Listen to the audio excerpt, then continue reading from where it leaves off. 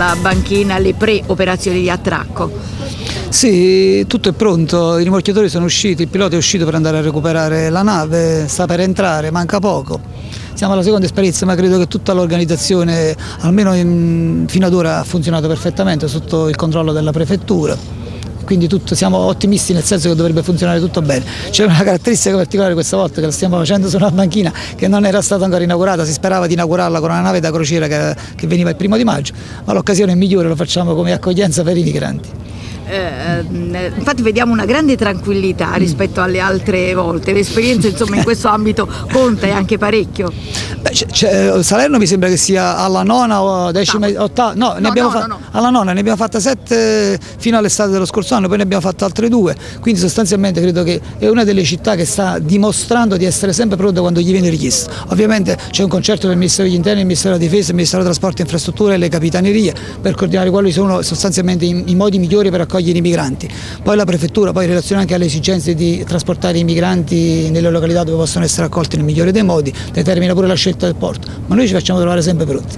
Notizie direttamente dalla nave, dal comandante? Ma guardi, penso sono i dati che già sono stati pure pubblicati, ci sono dal punto di vista sanitario alcuni casi di scabbia, sono credo poco più di un centinaio di persone, però sono stati monitorati, sono tutti quanti in tuta, quindi sono stati individuati bene.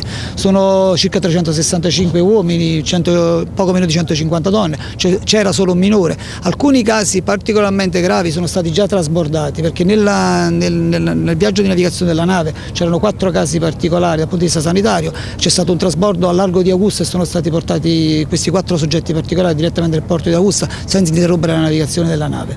Quindi ora dovrebbe essere diciamo, relativamente diciamo così, problematica la gestione di questi soggetti. Comandante, in questi giorni proprio per questo ripetersi di, di sbarchi, di operazioni nelle acque del Mediterraneo si sono eh, accese ancora di più le polemiche. Ovviamente la Guardia Costiera e Capitaneria di Porto continuano a fare il proprio lavoro, tutti però a questo punto invocano un intervento concreto dell'Europa lei? A me fa estremamente piacere che lei lo dice, ma lo sta dicendo lei, cioè noi facciamo il nostro lavoro, noi salviamo le persone che vengono dal mare, qualsiasi sia la pelle, qualsiasi sia la religione, qualsiasi sia, qualsiasi sia la destinazione, la provenienza. In, quando ci chiamano siamo sempre pronti, certo lo sforzo che stiamo approfondendo in questo momento nel Mediterraneo è tale che non so quanto potrà reggere rispetto agli uomini e rispetto ai mezzi che stiamo impiegando. In questo momento questa unità è stata praticamente eh, utilizzata per portare i migranti che sono stati intercettati da due unità non riusciamo neanche a intercettare e portarle sulla terraferma, perché in questo momento alcuni di questi migranti, molte decine di unità di questi migranti sono state intercettate da un'altra unità che poiché è rimasta in zona ha trasbordato i migranti su una, su una vechimera per venire a Porto Israele. Questo per dirle come sostanzialmente siamo in una situazione di emergenza anche dal punto di vista operativo, però non abbassiamo la guardia e fin quando possiamo diamo il nostro contributo.